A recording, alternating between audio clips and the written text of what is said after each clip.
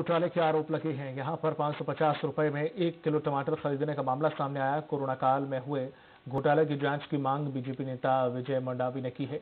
ज़िले में कोरोना पर हुए खर्च पर घोटाले की परतें लगातार खुल रही हैं।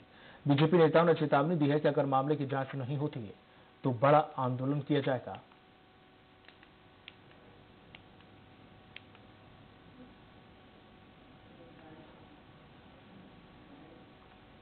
ऐसे लोगों को जो ये भ्रष्टाचार में लिप्त है और सेवा के लिए जो जो भी अनुदान या जो भी आर्थिक सहायता मिल रही है उसका सदुपयोग क्वारंटाइन सेंटरों में हो।